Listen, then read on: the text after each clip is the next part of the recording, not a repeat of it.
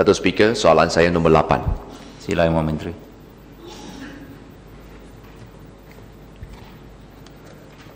Dato' Yang Dipertua, Istana Negara merupakan lambang kemegahan institusi beraja beraja di negara kita dan tempat bersemayam Seri Paduka Baginda Yang Dipertuan Agong dan Seri Paduka Baginda Raja Permaisuri Agong.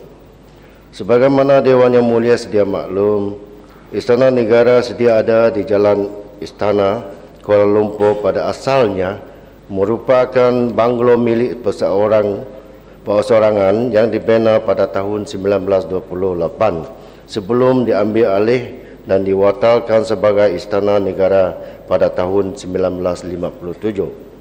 Sehubungan itu, kerjaan pada tahun 2005 telah memutuskan bahawa telah tiba masanya supaya negara membina sebuah istana negara yang baru iaitu di Jalan Duta Kuala Lumpur bagi menggantikan istana sedia ada di Jalan Istana. Untuk makluman ahli yang berhormat, projek pembinaan istana negara baru di Jalan Duta Kuala Lumpur terbahagi kepada tiga kontrak utama iaitu seperti berikut. Satu, kompleks istana negara. Komponen, komponen projek melibatkan pembinaan bangunan utama iaitu zon rasmi, zon diraja, zon pentadbiran dan zon sokongan.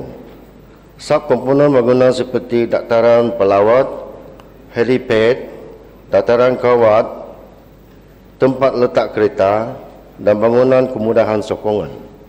Projek ini telah ditawarkan secara rundingan terus kepada syarikat Maya Maju Sendirian Berhad dengan harga kontrak ringgit Malaysia 649 juta 955 ribu 500 dan tu- lima dan tujuh lima kosong tujuh ringgit.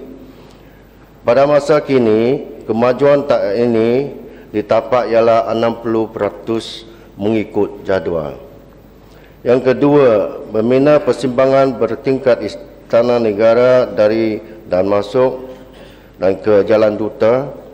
Projek ini melibatkan kos banyak ringgit Malaysia 130 juta dan telah ditawarkan secara rundingan terus uh, Reka Banbena kepada Ahmad Zaki Sendirian Berhad. Kemajuan ditapak sehingga 1 Jun 2010 ialah 30% berbanding 40% 45% uh, peratus berikut jadual asal. Projek dijangka akan siap sepenuhnya pada 9 hari bulan Februari 2011. Yang ketiga, projek menaik taraf Jalan Cangkat Semantan ke Istana Negara itu pintu yang kedua. Projek dengan harga kontrak 30 ringgit Malaysia 32.5 juta ini telah di-award secara running terus kepada syarikat kejuruteraan Kenali Sendirian Berhad.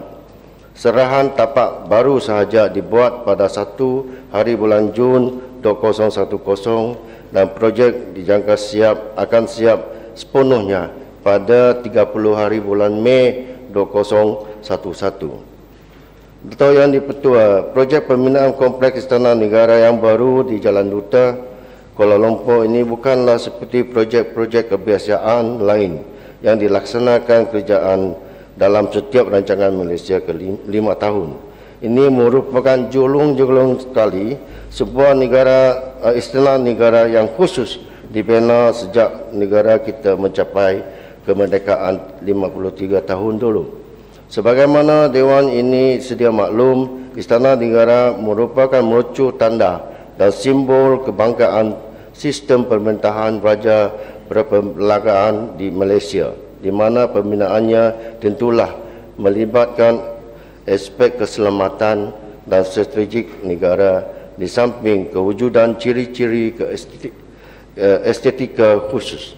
Sehubungan itu, kerjaan pada masa tersebut telah menimbangkan berbagai faktor dan setuju untuk menawarkan terus projek ini kepada syarikat Maya Maju Sendirian Berhad menerusi konsep mereka dan benar. Sekian terima kasih.